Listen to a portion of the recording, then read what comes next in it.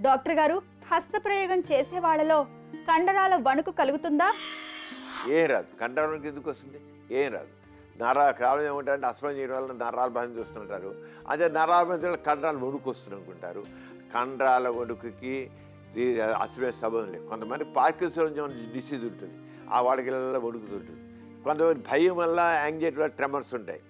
Parkinson మాత్రం కొంత వయసు వచ్చాక కొంతమందికి ఇలా ఒక చెయ్యో లేదా రెండు చేతులు ఇలా ఉంటాయి. లేదా వృద్ధాప్యంలో కూడా ట్రెంబర్స్ వస్తాయి మామూలుగా. కానీ ఇట్లా యాంగ్జైటీ వల్ల కూడా వస్తాయి కదా అంచేత అది అంతే తప్ప దాన్ని తీసుకొచ్చి అస్తభ్యంగా ముడిపెట్టడం తప్పు. అస్తభ్యం చేయడం వల్ల ఏ రకంగా కూడా కండరాల వణుకు రాదు దానికి సంబంధం లేదు. అస్తభ్యంగా దానికి ఏ సంబంధం లేదు ఏ రకంగా రాదు.